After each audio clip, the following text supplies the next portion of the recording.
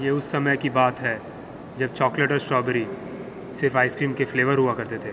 ये कहानी है दो परिवारों की। एक थे गुप्तेरियन, गुप्तेरियंस में थे माँ, बाप और उनका ठरकी बेटा। और दूसरे थे शर्मिस्टर्स। शर्मिस्टर्स में थे माँ, बाप और उनकी लाडली बेटी। उनके ठरकी बेटे का दिल शर्मिस्टर्स के लाडली बेटी पर आ गया था। उसने तो उसके साथ परिवार बसाने का सपना भी देख लिया था।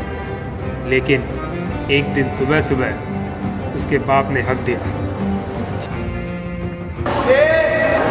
क्या बे? क्या कर रहे हैं? क्या बे?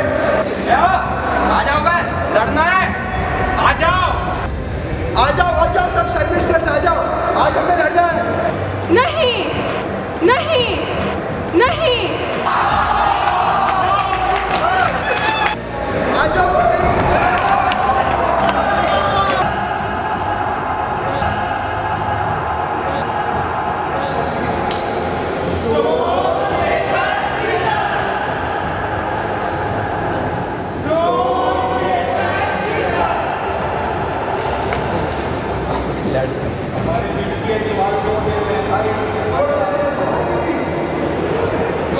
तो रहो हाँ ठीक है